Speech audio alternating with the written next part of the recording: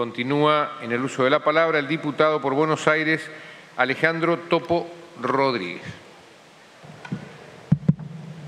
Gracias, señor presidente. Bienvenido, señor jefe de gabinete. Bienvenida a la vicejefa de gabinete, Cecilia Todesca Boco. Bienvenido también al secretario de Relaciones Parlamentarias e Institucionales y con la sociedad civil de la jefatura de gabinete, Fernando Chino Navarro. Bienvenidos. Ciertamente Macri dejó a la Argentina quebrada y además en cesación de pagos. Pero en agosto de 2020 el ministro Guzmán anunció un acuerdo con los acreedores privados extranjeros y allí realmente tuvimos la expectativa y la ilusión de que íbamos por el buen camino. A poco de andar, menos de un año después, ya tenemos la conclusión definitiva de que esa política fracasó de manera rotunda.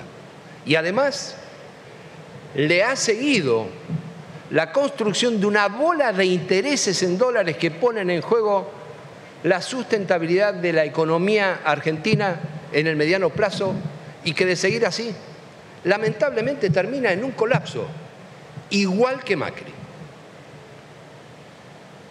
La certeza de que la renegociación con los acreedores extranjeros no dio el resultado esperado, la tiene todo el arco político, especialmente el Frente de Todos. Cuando el 25 de mayo y por escrito, una gran cantidad de diputados y diputadas, compañeros que están aquí presentes, por escrito afirmaron esto que estoy reproduciendo, que la estrategia de renegociación de las deudas llevada adelante con los acreedores externos, llevada adelante por el Gobierno Nacional, no dio los resultados esperados. Muchos de ellos van a hablar incluso ahora en un ratito con usted. Y son algunos de ellos economistas, referentes económicos del Frente de Todos en esta Cámara de Diputados.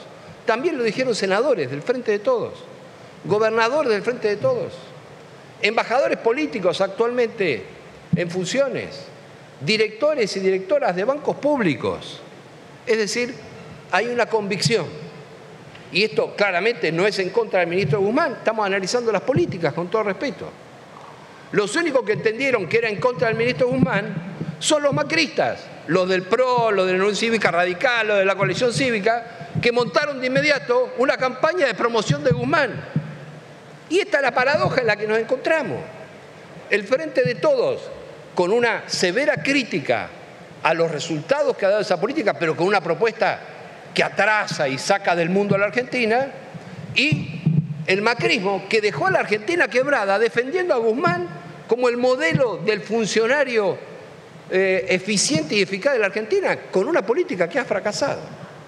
Entonces, como usted sabe muy bien, que esto no es un problema de relaciones económicas internacionales, no es un problema de finanzas internacionales, es un problema de profunda índole nacional y productiva, porque cuando la República Argentina tiene que tomar, y cuando digo la República Argentina no digo el Estado, los privados tienen que tomar deuda en dólares con una tasa de riesgo país que sigue rondando alrededor de 1.600 puntos básicos, hay que pagar una sobretasa de alrededor del 16% por sobre la tasa que pagan los bonos del Tesoro de los Estados Unidos. Y esto explica que hoy muchas pymes no tienen insumos.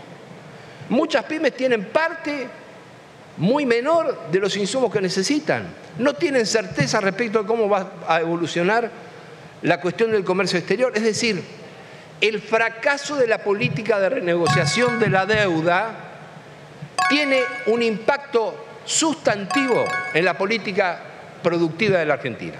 Por eso mi consulta es, ¿qué decisiones profundas, estructurales, van a tomar y qué se necesita de este Congreso para acompañar en la rectificación de esa política que es medular en esta etapa para la República Argentina? Gracias, señor jefe de gabinete.